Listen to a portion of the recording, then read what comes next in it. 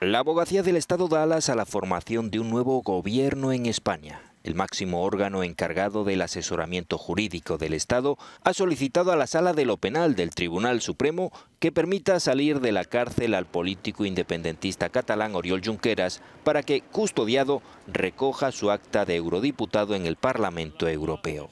Condenado a 13 años de cárcel y otros tantos de inhabilitación por su participación en el proceso, Junqueras es el líder de la formación independentista catalana de izquierdas ERC, cuyos votos necesita el socialista Pedro Sánchez para ser investido presidente del Ejecutivo.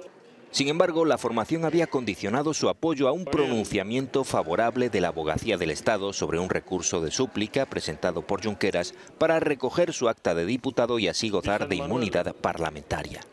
La Abogacía del Estado respalda así la sentencia del Tribunal de Justicia de la Unión Europea que el pasado 19 de diciembre dictaminó que un eurodiputado goza de inmunidad desde el mismo momento en el que se proclaman los resultados.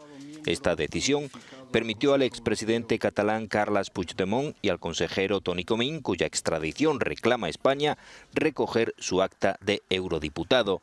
Sin embargo, como sobre Junqueras pesa una condena en firme, la abogacía del Estado pide que se solicite al Parlamento Europeo lo antes posible que se suspenda la inmunidad del político catalán.